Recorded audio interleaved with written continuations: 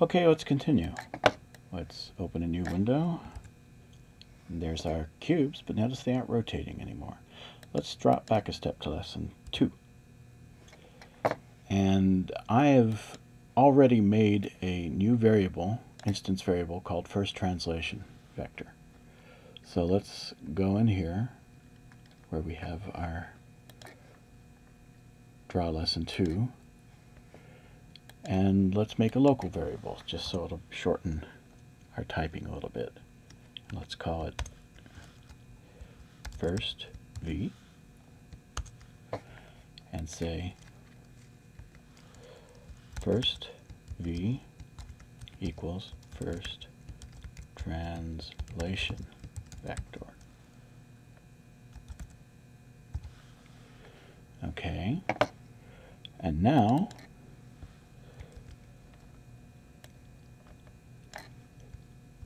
instead of giving it hardwired numbers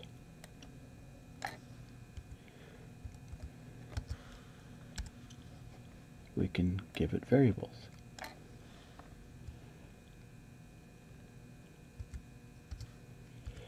Which won't change anything because I've already set it to the same values.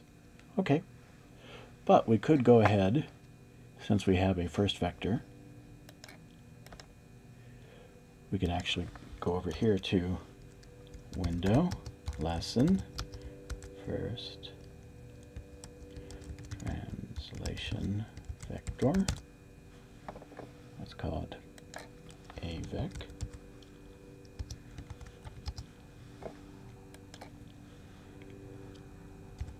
And we can inspect it at the same time that we're retrieving it if we spell everything correctly. Alright, so it's a vector 3, value 15, 0, and 6. So let's go ahead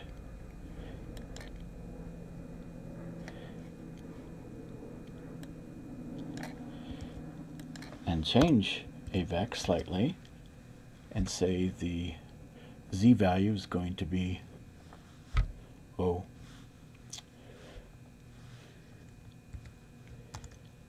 minus 12.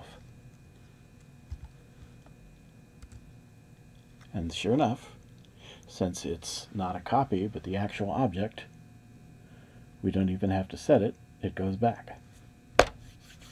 Alright, so now, as usual, we can set a slider and make it come forward or back. Alright, that's cool. But let's go back to uh, lesson 5.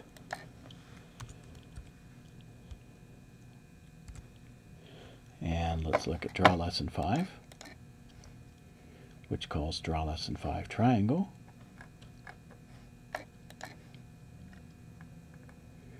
Draw lesson 5 triangle. Hmm, okay, well, we can probably just go ahead and say um, a vec. And just as before, we can uh, we could say a vec colon equals first translation vector. Since it's inside our methods, we don't have to use the accessor method. We can refer to our instance variables directly. So that's what I'm doing. So we want a vec x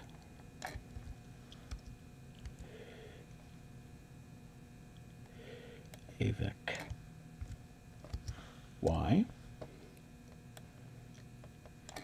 avec z. Assuming no typos, we save it. And it changed slightly. So we could actually go back over here and we could remember we've already accessed this. So let's set this to, oh, say, minus 5 again. Do it. Brings it forward. Set it back a little bit. 6. Okay. That's pretty cool. But we already knew we could do this. So, let's go back to, oh, say, um, inspecting our lesson. Here's our inspector. Notice we have a first translation which is a vector,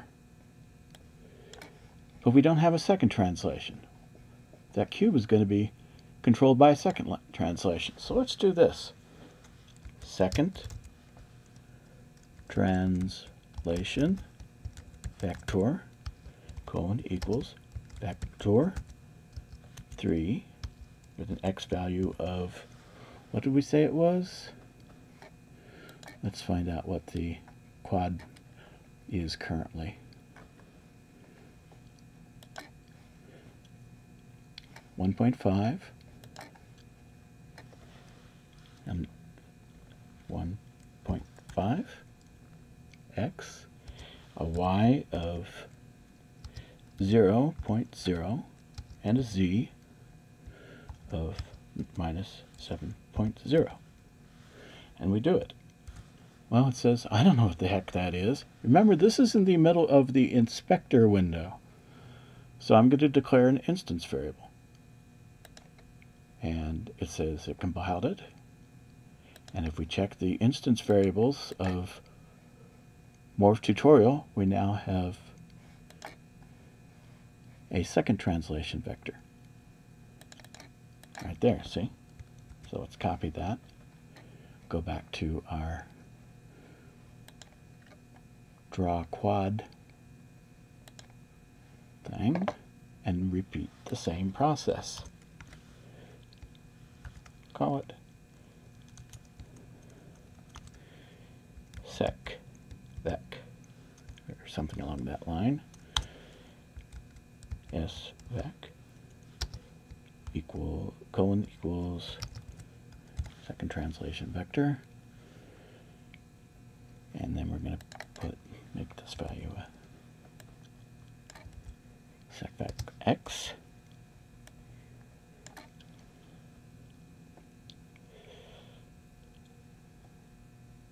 a secvec y and a secvex z. Of course, I don't remember what they were, so we're just going to have to... Yeah, there we are. Okay. Secvex. Command Z that out. Go up there. Secvex Z. Okay, we save it. That shouldn't do anything because we saved those values. All right, well, just to make sure that we're not going to screw up the next time we make a new one of these windows, let's add this line of code that created the variable in the first place at the bottom for our initialization, routine, our initialize, initialize method. Save it.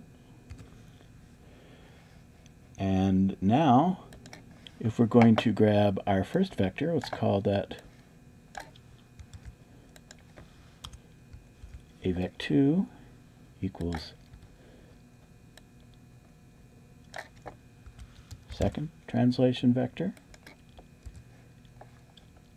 Ah. First we're going to make accessors. Go over here, create instance var accessors.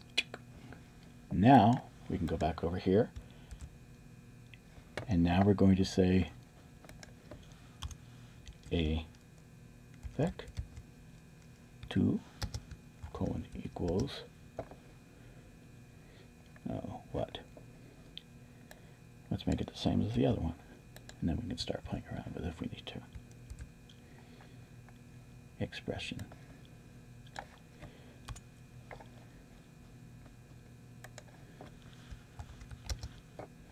I copied too much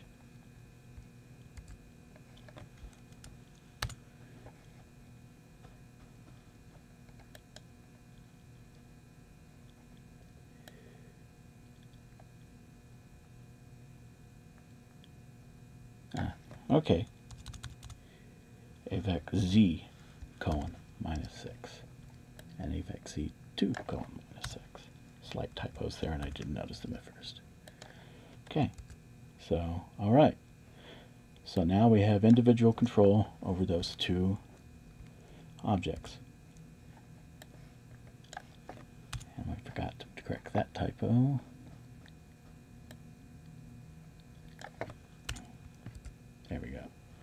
Now let's set them spinning. We want our rotation angle to be 5.5 and 5.5. Typos aside, we just created new instance variables using the inspector window and then went back and added them into our code. If we were to close this out and reopen the windows, they would be in the position we set them in originally. And they would still respond to those.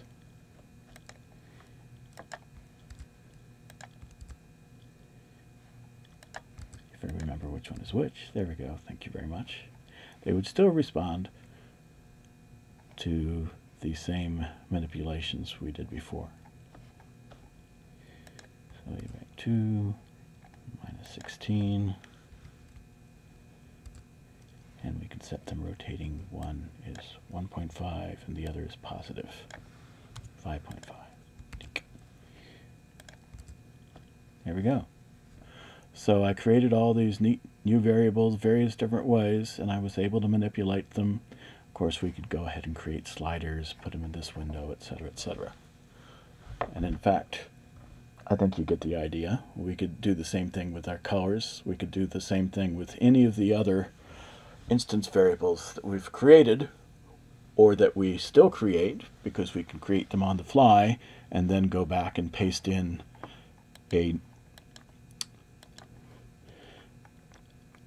new initialization for the vector or for the variable we just created. So, wow, pretty much anything you can do with OpenGL, you can manipulate interactively with Squeak as you write the code. And then, of course, you can go back and play with it. You can add a nicer interface. So you get the idea. Um, there's many other variables we could manipulate. I may manipulate them in shorter tutorials just saying here's what this variable does, here's what this variable does. But you get the idea.